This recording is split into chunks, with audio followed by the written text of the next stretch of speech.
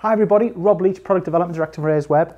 Here today to talk a few minutes about something a little bit more technology based than usual.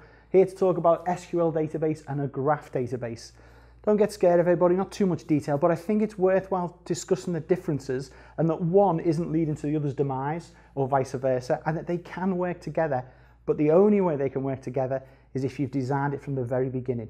So let's talk about SQL.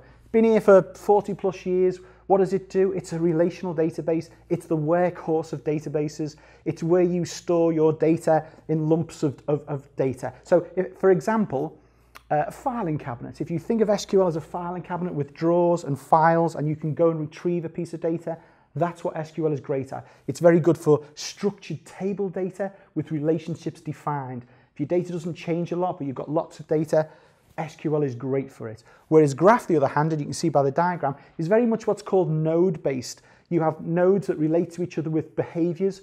These particular, the key with Graph database is that the actual behaviors, the relationships are at the data level. They're not at the table level, that's as technical as I'm going to get, but it allows you to have a very more dynamic structure. It's very easy to add relationships, it's very easy to add nodes. Um, the, the, beauty of, as I say, for SQL is, is the workhorse. It's saving incident data, it's saving audit data, it's retrieving that data for you to look at.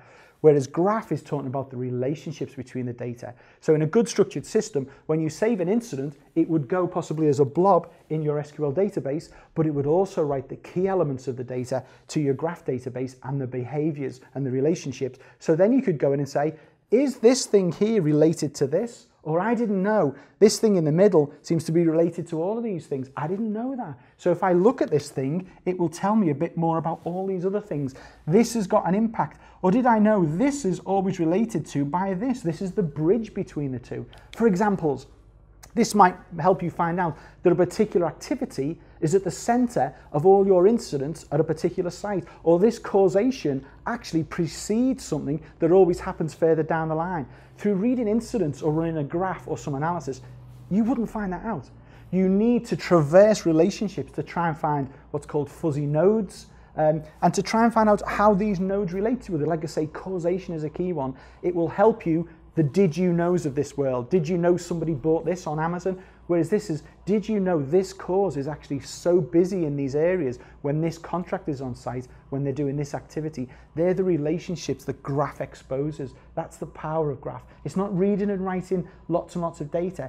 It's the relationships between those data. That's the key. So again, this graph database technology doesn't mean the death of SQL and vice versa. They don't really do the same thing. If you do them properly, they work in harmony if your structure is engineered from the ground up. You can't bolt one onto the other, not really good design. But if you start from scratch, these two technologies work seamlessly, but as I say, for different applications. Okay, I'm Rob Leech. Hope you enjoyed that. Thanks.